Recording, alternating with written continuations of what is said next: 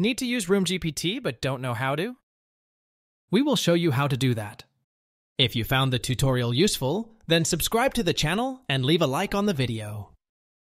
First, search for RoomGPT and click the first link. Now, log into your RoomGPT account. Once you've done that, click Redesign Your Room by either clicking the button right there, clicking Redesign at the top, or going to Redesign via your profile. Prepare a photo of the room you want to redesign. For testing, you can use stock footage from the internet.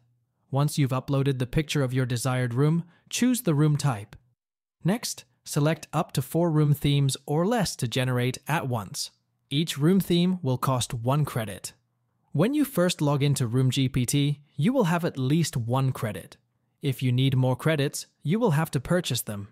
After uploading the image of your room, selecting the room type, and choosing the room themes, click Render Designs. It will take a moment to render, and in a few seconds, your redesigned room should be ready. You can then download the photo or redesign a new room. That's how you can use Room GPT. Make sure to subscribe, like, and comment if the video helped you out.